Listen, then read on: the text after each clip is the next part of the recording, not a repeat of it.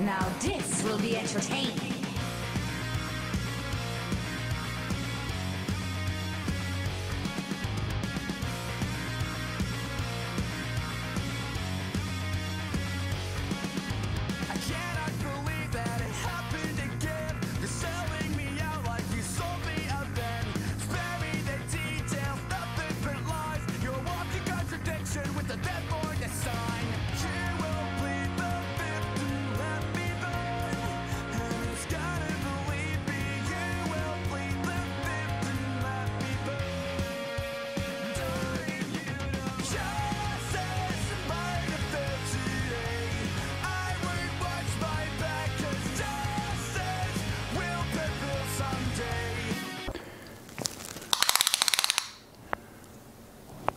That's quite big.